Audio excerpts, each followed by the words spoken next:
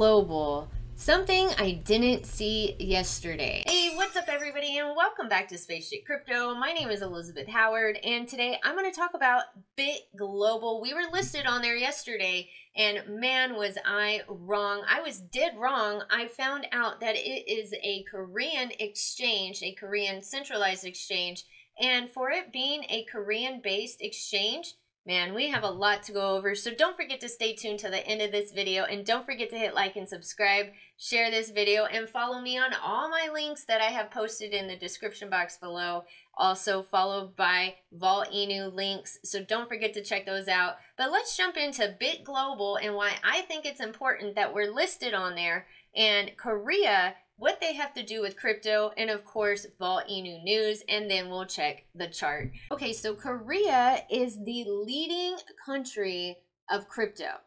Yes, you heard me right. They have at least 20 to 30% of their population uses cryptocurrency. South Koreans have always been early to emerging technologies, which is very true, and they are leading actually the metaverse also. They have NS Lab over there. They're the leading source of the metaverse. So if they're the leading source of the metaverse, you can guarantee that you can trust that they have emerging technologies. It's so true. If you guys have seen my other videos, I'm also covering a metaverse project which I love. I I mean, I love it. I love the metaverse and that's my niche. I love it. So, I'm going to talk about the metaverse also along with cryptocurrency because it does go hand in hand.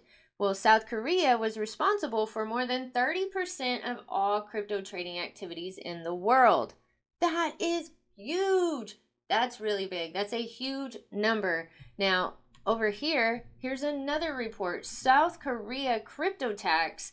Okay, now they went up in their crypto tax in January. Now they went up because they know how many people use cryptocurrency. But guess what? In further reports, these people don't care because it went up. It tripled in crypto holders since 2019. Now, this report came out on September 14th of this year, so it is up to date. Now, the rise in number of crypto investors, it says right here the percentage of cryptocurrency investors and they're in their 20s and 30s has increased from 23.7% at the end of 2019, we're 2022 now, to 35.7% by the end of last year. So imagine how many people have joined this year. Um, you can't fully get a report all the way in 2022 yet, right? Because like we're not done with the year. So anyway, you can guarantee Korea knows what's up in the digital market. They are leading the way with crypto and technology. The metaverse, which is huge, you guys already know the metaverse is a big, big deal. For them to even have, you need to do your research on NS Lab.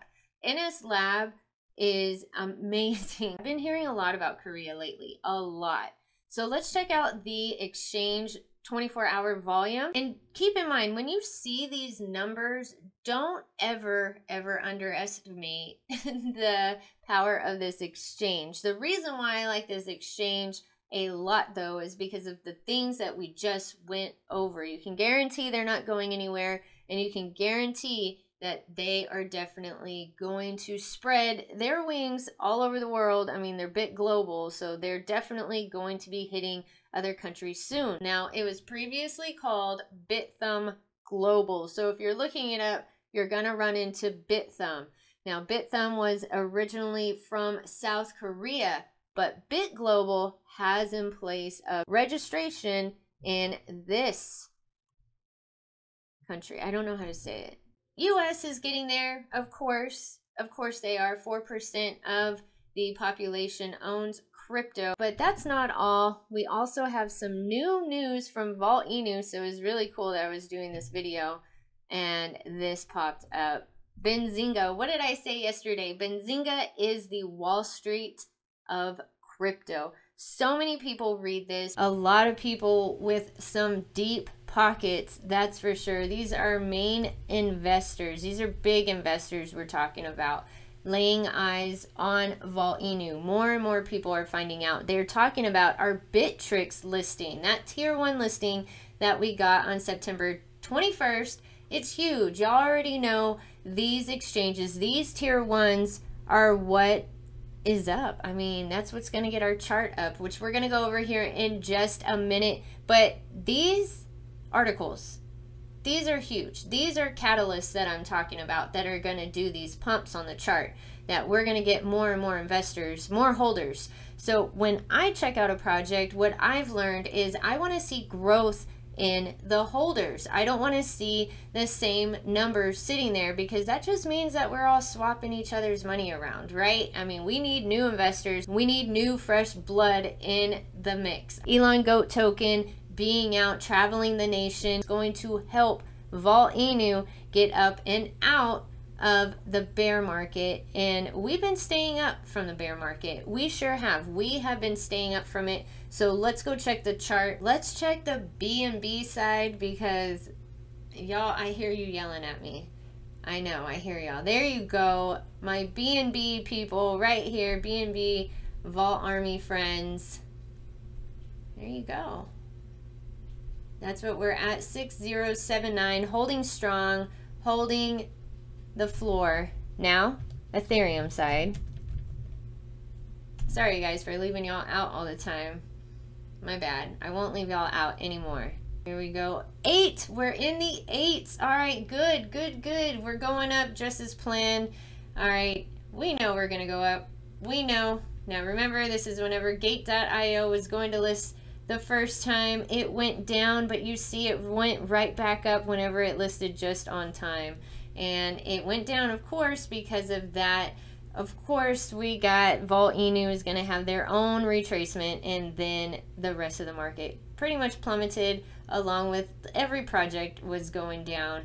And then here we go we're going back up. Hopefully we get some momentum going back up but I think we will with all these catalysts coming out SmartCon coming out on September 28th and 29th that's going to be a huge catalyst for us something else you know these articles, you know these um, Benzinga, and you also have crypto news. You have so many different sources, Decrypt, all these different sources. I can't even name them all, but I just want to let everybody know that this was a very good exchange for us to get on. And Benzinga talking about us. And then we have all these other articles comparing us to Shiba Inu. If you're not bullish on Volt Inu, I don't know what's up. What do I think is next for Volt Inu? Well, let me tell you one thing. I am bullish on Volt Inu, but let me explain why I'm bullish on Volt Inu. It's because we're getting listed on tier one exchanges. We have five more promised to us by December.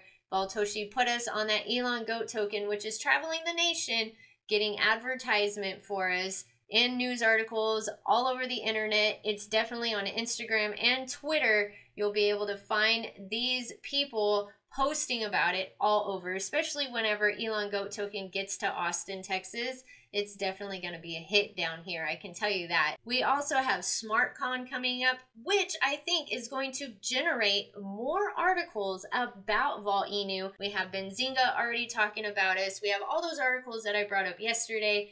Everybody is talking about Volt Inu. Volt Inu is definitely going to be a household name. I believe that Volt Inu is going to make it out of the bear market flying. It's going to be sprinting past all the other meme tokens out there. We also have VoltiChange coming up, but we're more so worried about these tier one exchanges. And the reason why is because we'll get more publicity, we'll get our name out there a lot more, and then people will understand more about VoltiChange and what it's all about. And that's the key education. You got to educate people, but not just on our project, but cryptocurrency also. So don't forget to be a good example of this project. Represent the Volt Army well. I'm going to try to do another late night space cabin tonight. Last night, I don't know, all of a sudden my audio was hijacked. I have no idea what happened. I was online all day yesterday. I did two videos. I went to El Musa's um, podcast show. I enjoy doing that. Uh, y'all go check it out. It was really fun. We were talking about some weird stuff. But I will try again tonight, so stay tuned for that. Don't forget to subscribe to the channel and hit that bell.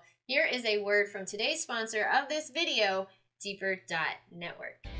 Deeper Network, a project's aim that is to make a fairer and uncensored internet for all, a project where you can contribute to and operate the network. By running a node, you support the network and earn income via bandwidth sharing. Due to sharing bandwidth, you can also use the network as a decentralized VPN. No need to pay for centralized service providers. Your data, your network.